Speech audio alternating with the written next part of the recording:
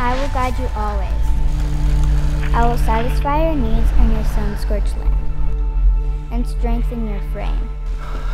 You will be like a well-watered garden, like a spring whose waters never fail.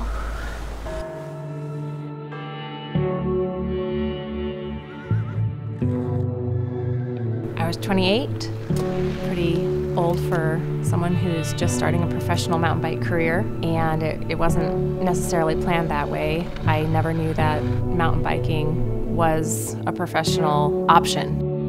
When I was younger, showing up to these smaller races where I would win and just thought it was because there wasn't anyone to compete against, it wasn't until later on that I knew that there were women toeing the line that had a reputation, and that's kind of when I realized there might be more to this than chance.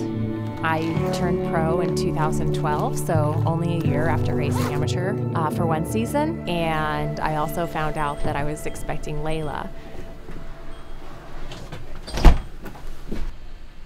It's easy for mom guilt to creep in when I take time away to train or go to races.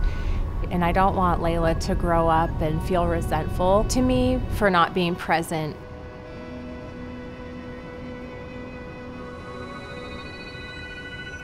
As a mom athlete, I don't think there's any greater thing than having your child cheering for you on the sidelines or waiting for you to cross the finish line and how proud they are of you when you win.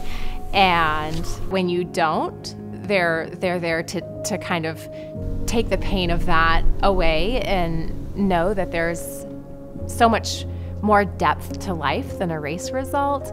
And so it, it does provide like a really beautiful balance